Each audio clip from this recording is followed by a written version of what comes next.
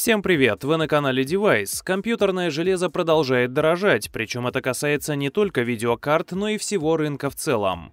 Единственным способом собрать компьютер за хоть немного адекватные по современным меркам деньги остается постоянный мониторинг магазинов и вырывание товаров по скидкам. Благо приближается Черная Пятница, и практически все магазины будут стараться предложить наилучшие цены. Поэтому сегодня я решил собрать для вас систему на Intel и AMD в бюджете бюджете до 120 тысяч рублей. Этого хватит, чтобы даже сегодня собрать очень мощный компьютер, который для работы сойдет, и любые игрушки потянет на ультра настройках в разрешении 1440 пикселей. В конце я продемонстрирую тесты, которые докажут это, так что смотрите ролик целиком. А пока ставьте лайки, подписывайтесь и прожимайте колокольчик, чтобы не пропускать новые видео. Пишите в комментариях, как вы считаете, начнут ли в скором времени цены возвращаться на свои законные места, или же ждать смысла нет и станет только хуже. Будет интересно узнать ваше мнение. В описании под роликом вы сможете найти все представленные в сборке железяки. Приятного просмотра! Начнем со связки материнка-процессор от AMD. Базироваться эта сборка будет на Asus TUF B450M Pro Gaming. Это бюджетная, но весьма добротная материнка как за свои деньги, так и в целом. Она имеет неплохую подсистему питания с радиаторами и весьма нестыдный внешний вид. К слову, все устройства линейки TUF от Asus выполнены в едином стиле, что понравится поклонникам серии.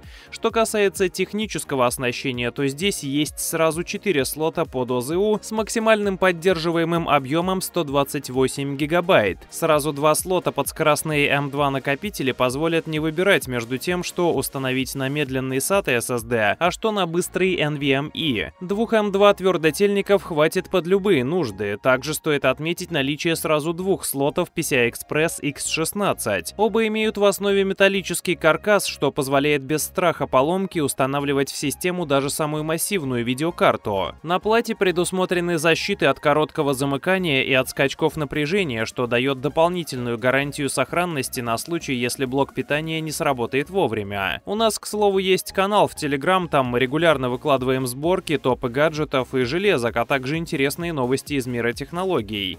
Подписывайтесь, ссылочка в описании. Новое поколение Ryzen от AMD получилось не таким привлекательным с точки зрения цены, как это было раньше. Но сегодня и старые процессоры на Zen ощутимо подорожали, что делает свежее поколение более привлекательным. Ryzen 5 5600X — это весьма мощный и универсальный процессор. Он отлично справляется не только с любыми современными играми, но и в рабочих задачах показывает себя отлично. При этом базовый TDP остается в весьма адекватных рамках 65 Вт. Если вдруг в будущем мощности ЦПУ станет маловато, то его можно подразогнать. Платы на Intel заметно дороже, чем одноклассники на AMD, тем не менее для осенней сборки удалось уместить в бюджет куда более интересную материнку на топовом, хоть и не самом свежем чипсете Z490. Да, это один из самых простых представителей этого чипсета, но он один из лучших за свои деньги. Плата отлично подойдет для разгона Core i5 или даже Core i7 благодаря мощной системе питания с двумя массивными радиаторами. Для питания предусмотрен уже необычный 8 пин 2,5-пиновый разъем, а 8 плюс 4 пин.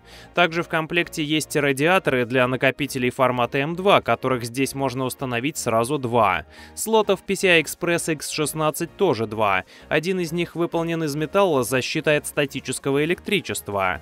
Встроенная сетевая карта на 2,5 гигабита поможет получить максимально быстрое соединение с сетью, будь то интернет или домашняя локалка. Для ОЗУ есть также 4 разъема, а максимальная скорость оперативности оперативки может достигать аж 4800 МГц. Именно за счет разницы в стоимости процессоров удалось взять для Intel плату получше, при том, что они в принципе дороже, чем для AMD. i5-10600KF по производительности хоть и немного отстает от 5600X, но, во-первых, отставание незначительное во многих проектах, а во-вторых, оно с лихвой компенсируется возможностью разгона на более продвинутой материнской плате. Процессор этот хоть и не самый свежий, а на рынке уже по чуть-чуть появляется 12 поколение камней от Intel, Однако производительности этого камушка до сих пор хватает для всех современных игр на ультра настройках. И пускай в рабочих задачах он даже с разгоном будет отставать от 5600X, поработать на нем все же можно. Главное не забывать про весьма приличный TDP в размере 125 Вт, который может значительно расшириться после разгона. Если для охлаждения красного чипа будет достаточно практически любого куска алюминия с вентилятором, то вот с Intel такой фокус уже не пройдет.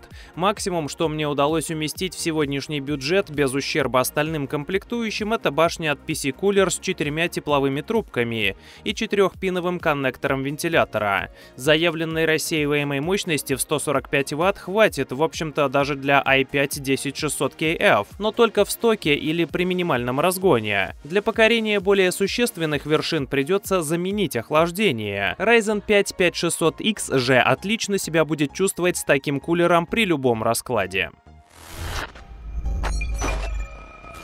16 гигабайт ОЗУ – идеальный вариант для игр на сегодня. Я взял сюда две плашки по 8 гигов, работающие на частоте 2400 МГц из коробки. И если процессоры от Intel не так чувствительны к скорости оперативки, то вот для AMD этого катастрофически мало. Благо эти модули спокойно берут 3000 МГц. Да и обе материнские платы позволят без проблем разогнать память. В будущем же можно увеличить объем в два раза без замены имеющихся плашек за счет наличия наличия еще двух свободных разъемов. Без SSD-накопителя в современной сборке совсем никак. Медленный жесткий диск способен любую, даже самую мощную систему превратить в тыкву. Поэтому я взял сюда хоть и бюджетный, но шустрый M2 твердотельник на 500 гигабайт.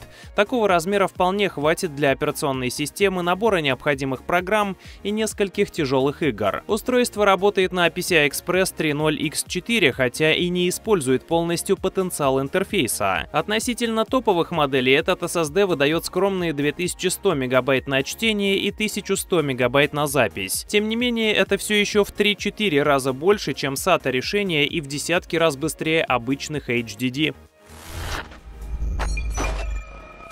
Главным компонентом этой сборки стала RTX 3060 Ti. Несмотря на то, что позиционируется она как решение среднего уровня в линейке, ее производительности без проблем хватает, чтобы запускать любые проекты в Quad HD разрешении при ультранастройках графики.